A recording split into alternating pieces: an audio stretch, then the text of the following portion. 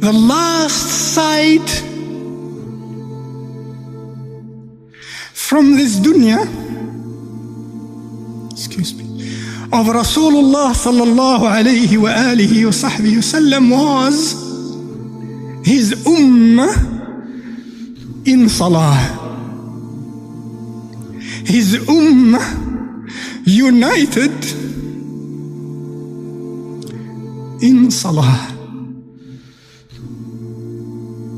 That was the last sight of his ummah.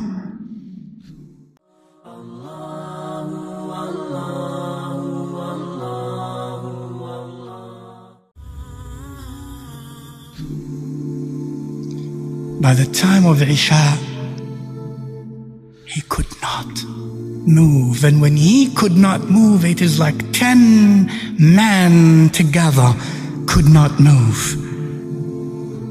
Not like when you or when I, I don't know about you, Hafizakumullah, or when I fall sick and I think I can't move when probably I could move. He could not move and he lost consciousness. He woke up for a moment and the first thing he said, Asalla nas? The first thing he said, Asalla nas? Did people perform their salah?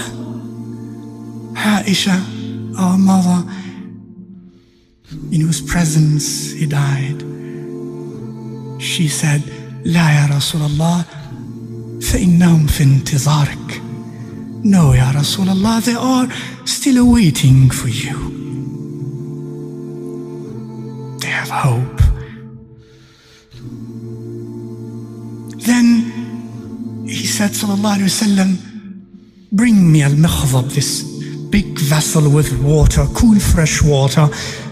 He entered inside of it and he refreshed himself and bathed and got out to get some strength. And as he stood up to walk to inside the masjid,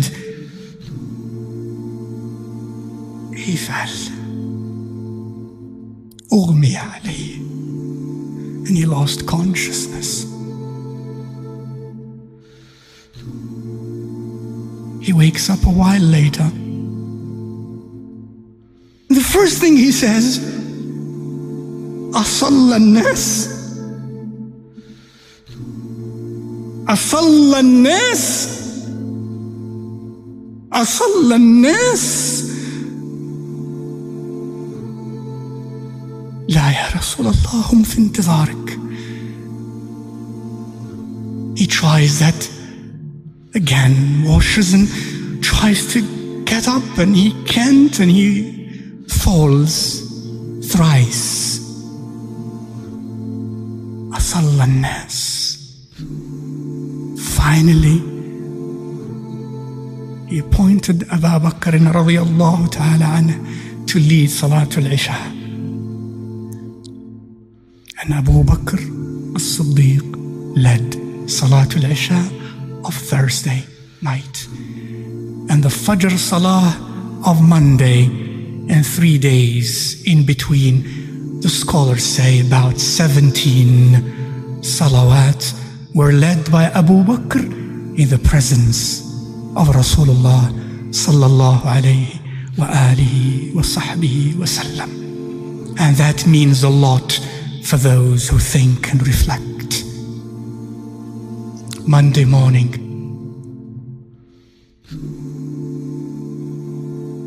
Fajr time, Abu Bakr radiallahu ta'ala is the Imam of the believers. Suddenly, suddenly, the curtain opens. From the private quarters of Aisha radiallahu ta'ala anha, and that door opened directly into the masjid. In the front rows of the masjid the curtain is open. And Rasulullah sallallahu wasallam is standing at that door. Seeing Abu Bakr radiallahu anhu leading his ummah in salah. The last sight from this dunya, excuse me, of Rasulullah sallallahu alayhi wa alihi wa sahbihi wasallam was his ummah in salah. As I look to nature's beauty, dazzled am I, knowing everything calls on you, the Lord.